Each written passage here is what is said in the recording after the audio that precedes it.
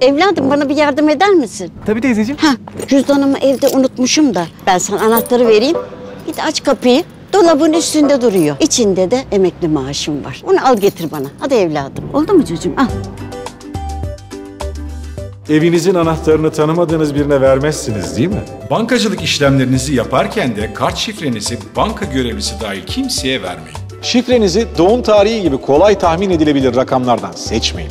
Cüzdanınızda taşımayın. Hiçbir banka telefonda ya da e-posta yoluyla şifrenizi sormaz. Şifrenizin güvenliği paranızın güvenliği demektir. Şifrenizi iyi koruyun. Kimseyle paylaşmayın.